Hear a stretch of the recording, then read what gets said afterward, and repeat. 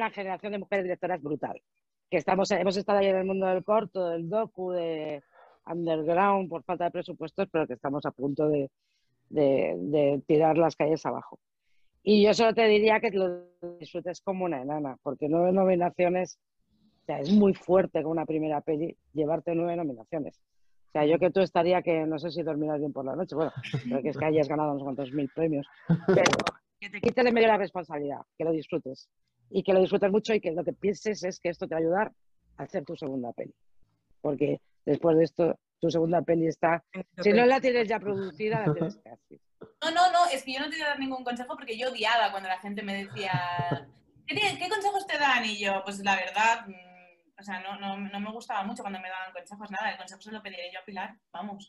Pero, pero nada, que, que, que lo disfrutes, que te lo pases bien, que, y, y, que, y, y, sobre todo yo, a mí me quedó como una sensación cuando, cuando volvíamos en el AVE de Málaga, em, que, era una sensación como muy extraña, que era, siento que queda todo por hacer, ¿no?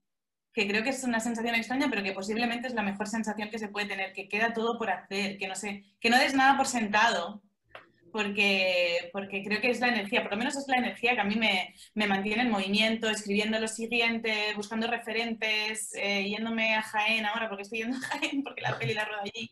Em, esto que está todo por hacer, que, porque si no, a veces pienso como que es mejor pensar en una en el futuro que no en lo que ya he hecho. Entonces, eso, que pienses en lo que queda por hacer. Y ya está. Gracias. Oye, yo decir que, que yo, a ver, yo ojalá se cumpla eh, lo que habéis dicho. O sea, eh, obviamente no, me encantaría, sería un sueño cumplido, pero vamos, que, que, que yo estoy preparada para todo y, y, y, sea lo que sea, aunque suene atópico, que yo lo sé, eh, es que lo que decía Arancha, es que no hay nominaciones, es que ya más felices no podemos estar.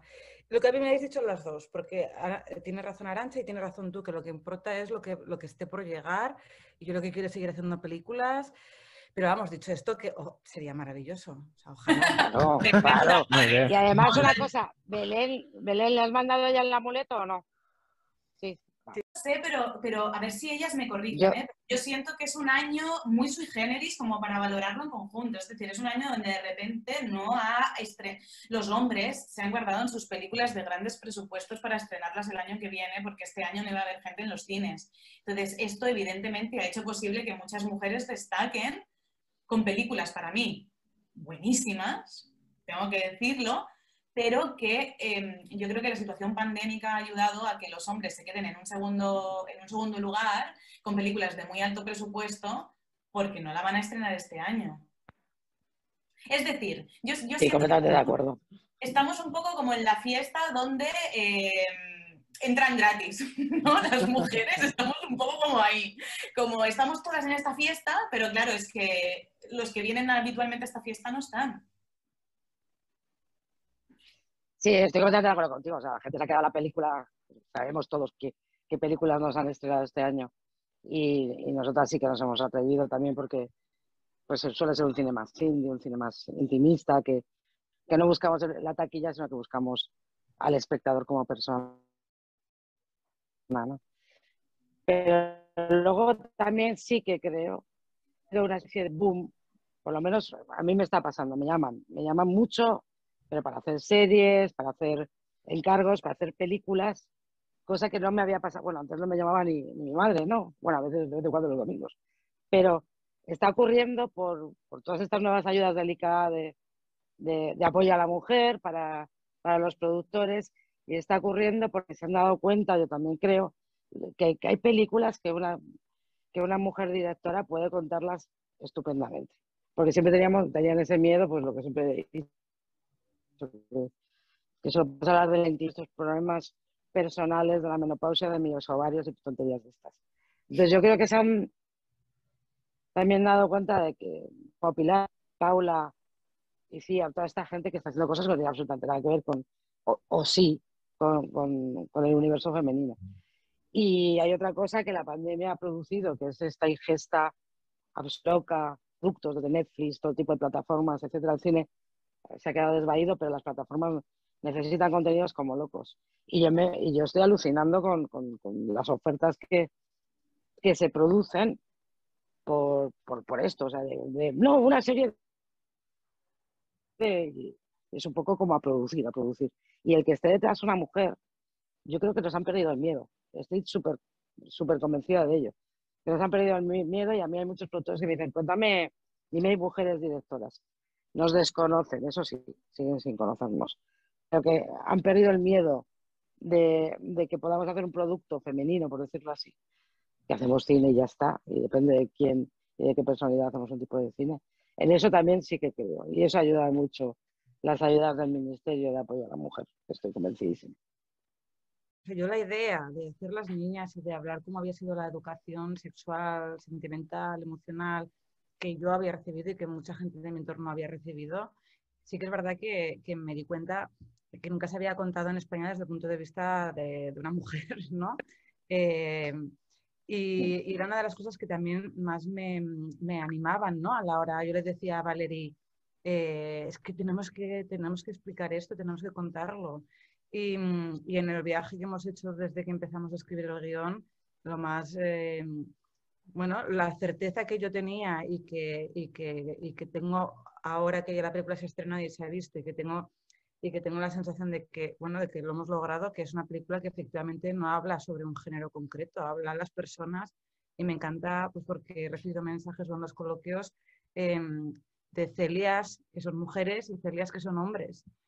Y, bueno, y esto me da la razón en la de que efectivamente yo creo que estamos todas de acuerdo, el cine es una cuestión de sensibilidades, no, de géneros. Obviamente todos somos constructos, ¿no? O sea, y obviamente nos han educado a todos en función de, bueno, pues a mí en la película está, ¿no? La clase de mensajes que muchas mujeres de mi generación hemos recibido y los hombres pues tienen sus, otros mensajes con los que tienen que lidiar hoy día, en su día a día, ¿no?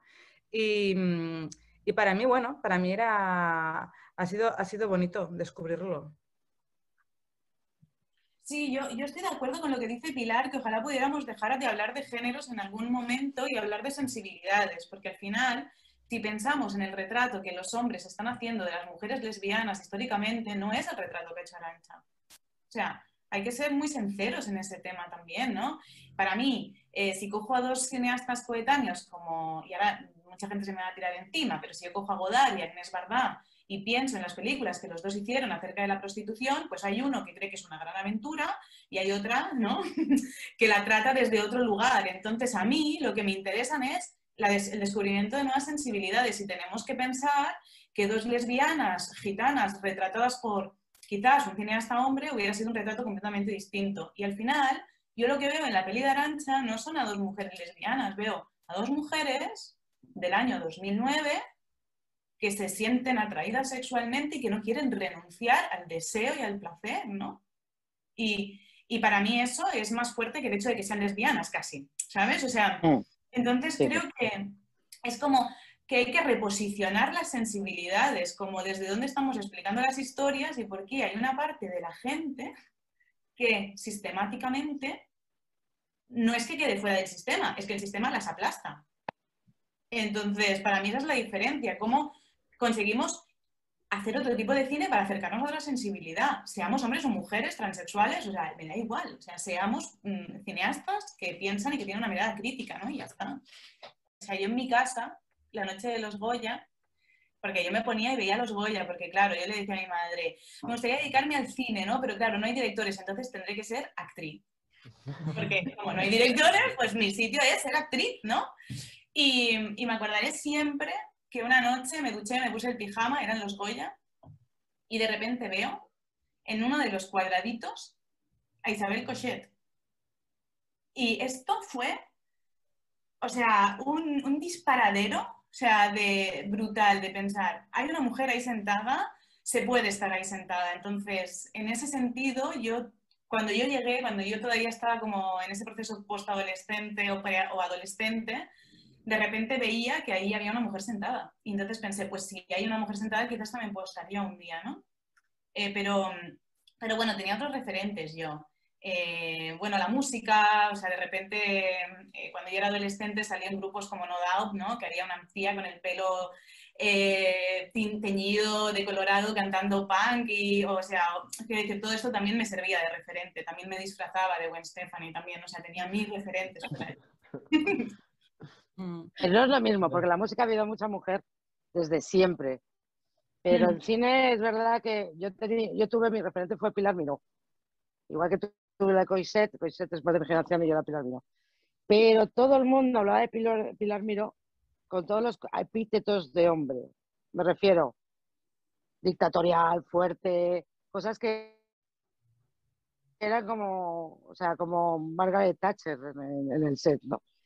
Y yo decía, joder, es que es una, una, directora excelente. Pero me vendían que tenía un comportamiento muy masculino para poder llegar a ser directora. Y era una ladid entre todos los demás. Y luego Coiset llegó y ya normalizó eh, o como decía el Boya ahí, que fue, se normalizaron que hubiera mujeres en el cine. Pero no había. es que lo hemos pasado muy mal, muy malamente. Pilar. Pilar, de algo. Sí, no, a ver, yo, yo es que, claro, yo mm, eh, no, desde cuando tenía 14 años, ojalá pudiera decir que veía Berman y que iba a la filmoteca, pero no era así. Yo, yo mi, mi bueno, mi, gusto por el cine y mi afición por el cine pues fue muy poquito a poco y, bueno, yo es que mm, no, no, no, voy a hablar de, ninguna mujer directora bien entrada a mi, mi, primera juventud. O sea, yo para mí el cine eran directores, hombres, ¿no? Y las mujeres eran actrices y, y es así. Y obviamente creo que eh, para todas, eh, Coiset, y Cerbollaín, Gracia Querejeta, creo que eh, sí que comenzaron pues, em, a, bueno, a, bueno, que un camino que ya habían empezado antes, pues eso, Pilar Miro, Josefina Molina, pero que está todavía muy desdibujado y que cada vez ellas fueron marcándolo más y que ojalá estemos recogiendo el testigo nosotras para las que vengan, ¿no? pero bueno, que ha habido una falta de, mujeres directoras, de mujeres directoras es, evidente, es que, bueno, hay que más que mirar las estadísticas de los informes de CIMA para, para, ver cuál ha sido la situación.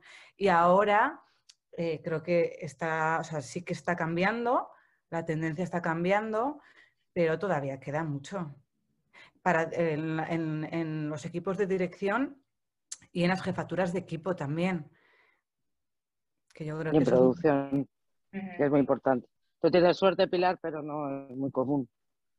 Sí, y a, mí, por ejemplo, también, o sea, una cosa que yo me he dado cuenta eh, a, través de toda la promo de las niñas es todo, todo el trabajo que queda por hacer, ¿vale? Yo esto lo he dicho varias veces, porque una pregunta que se me ha repetido mucho, mucho, mucho, mucho es que ¿por qué he elegido a las jefas de equipo mujeres? ¿no? Y, y, se me pregunta muchísimo, que si ha sido una, una, una elección, una casualidad, mm, y, es que esa pregunta nunca se haría la inversa. ¿No? Y yo creo que hasta, que no llegue el día en que esa pregunta no se haga, ¿no? yo creo que estamos todavía un poco, o sea, sí sorprende, sorprende, sorprende mucho que haya una jefa, que haya una, que haya una directora de fotografía, que haya una jefa de sonido, ¿no? Cuando en realidad yo he buscado a la gente con la que mm, trabajo bien, Em, admiro, mm, quería que, mm, quería que aportaran su talento a la película y así es.